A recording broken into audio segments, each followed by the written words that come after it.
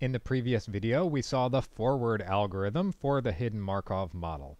And I'd like to, in this video, just take a moment to appreciate what happened here. What, what made this algorithm work? What made it dynamic programming? And why it's sort of so, so cool.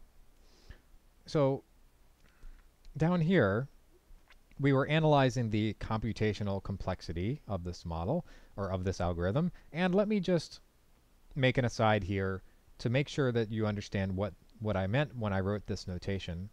So big O notation, I used big theta. Big O, if we, we say an algorithm is big O of some function f of n, that means that there exists some constant c and there exists some number n such that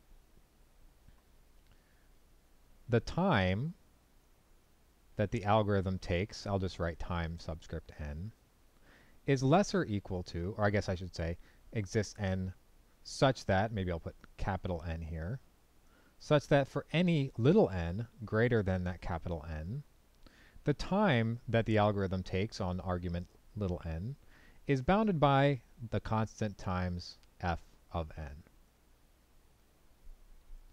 So in some sense, the, the, the, the amount of time that the algorithm takes grows proportionally in some sense, or at least it's bounded by this thing, this thing which is proportional in f of n, at least when n is large.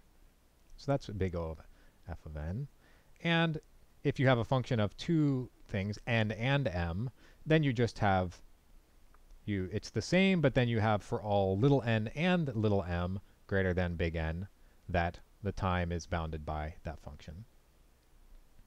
And here theta of f of n means again there now there exists two constants c and c prime and there exists again a number big N such that for all n greater than big N we have a lower bound and an upper bound so c of fn is bounded below or is a lower bound for the time that it takes.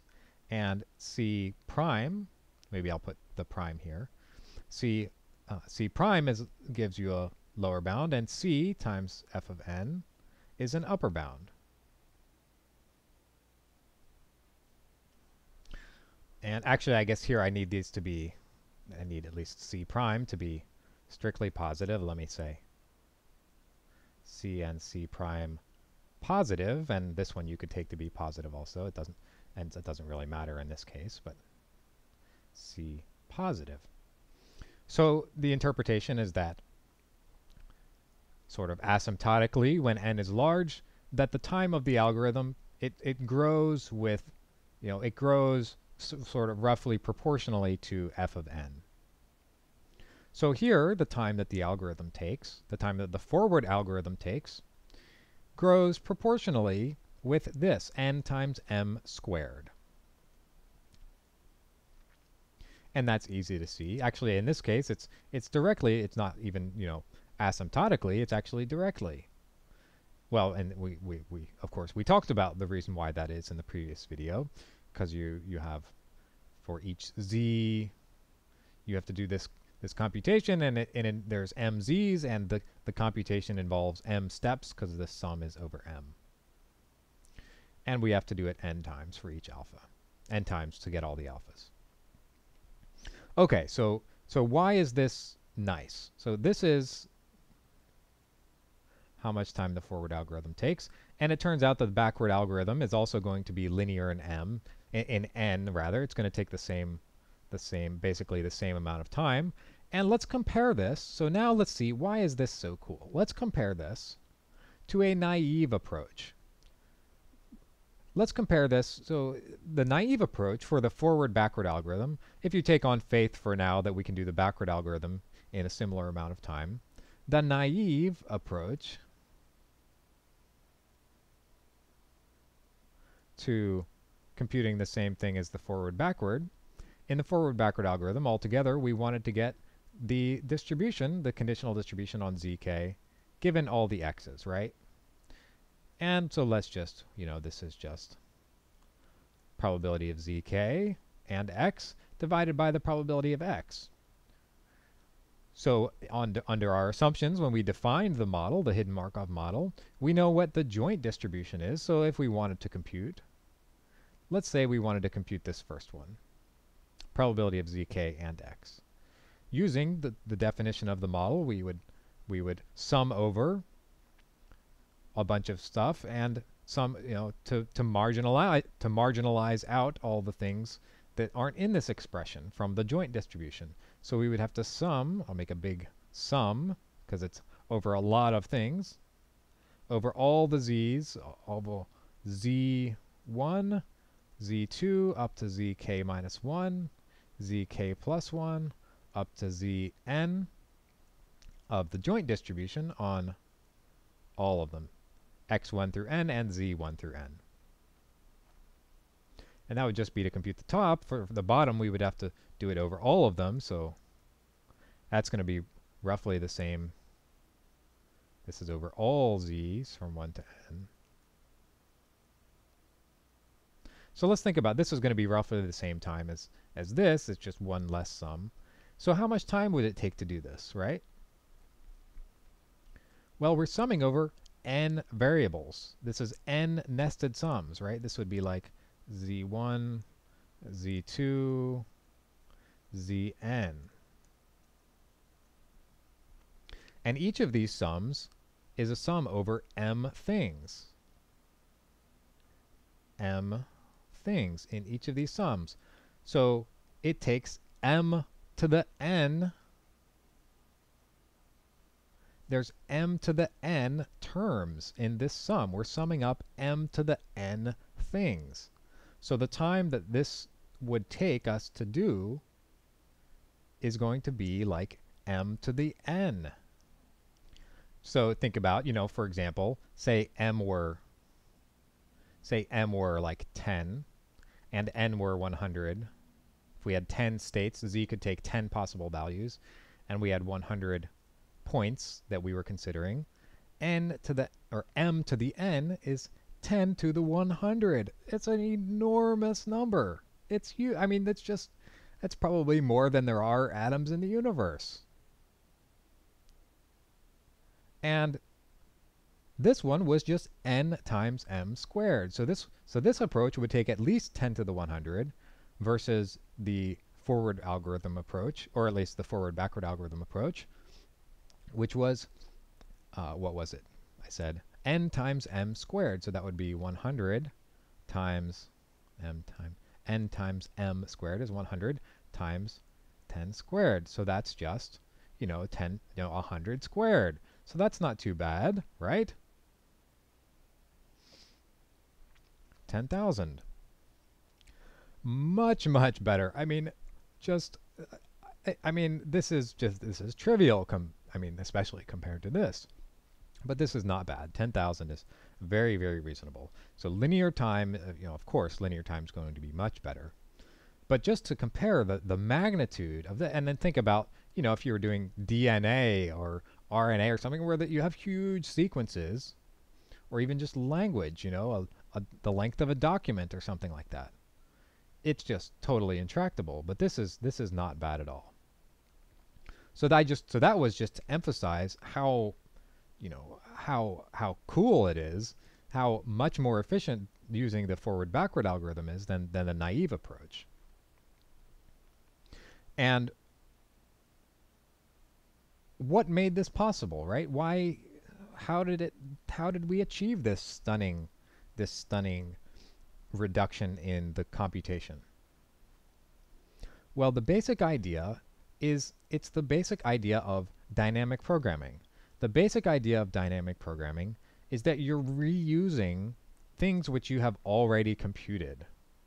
So at least that's the way I think about dynamic programming. The way I think about dynamic programming, sometimes people abbreviate DP, dynamic programming, reuse earlier, earl, earlier, if I can spell, computations. And if you think in, in terms of this principle, a huge number of algorithms can be interpreted as dynamic programming, as sort sort of dynamic programming and al- dynamic programming algorithms, and a huge number of problems can be solved efficiently using dynamic programming. Not everything, of course, but but a very large number of problems can. And this is, I mean, this is a very sort of oversimplification, but if you had to reduce it down to, you know, to to three words, I guess, it's the basic idea is you're reusing earlier computations. And in the forward backward algorithm, what you know the the form that that this took, the the things that we were reusing were these alpha numbers. Right? We had this we set up this recursion and we reused these alphas. We so what we were reusing was the result of sort of rather than recomputing these each time, you know, this would have been like this we could have also done just a big sum here instead of just summing over zk minus 1 we could have summed over all the z's from 1 to k for the you know take the marginal distribution on z1 through zk and and x1 through xk and sum out all the z's from 1 to k and rather than doing that what we were able to do was reuse so we were able to reuse you know the this the, the previous step and avoid summing all the z's from 1 to k minus 2, I guess. So that was the thing that, that we were reusing here, and that was what made this a dynamic programming procedure. Okay, so uh, let's see. Uh, so next we're going to talk about the backward algorithm. But before we get to that, I wanted to just briefly mention, so I alluded to, or I sort of sort of vaguely said that this is a very general purpose approach for Markov chains. And I want to explain that comment a little bit. So often, you know, a lot of just sort of if you know, if you take probability and you you you work with Markov chains, some of the basic problems that you have to do are things like computing hitting times and uh, if you have no idea what I'm talking about, then you could ignore this. But things like computing hitting times for um, a Markov chain or expected number of visits to a particular state. And in general, a very, very general way to approach those problems is to set up a recursion. And that's exactly what we've done here. We've set up a recursion. So when, when you have to compute one of those when you have to do one of those types of problems, the general approach the general approach is to set up a recursion for the things for the thing that you're interested in finding. And then oftentimes once you set up that recursion, well, if you're lucky, you can solve analytically for the result for the thing that you wanted. Sometimes, you know, you have to like invert a matrix or something like that.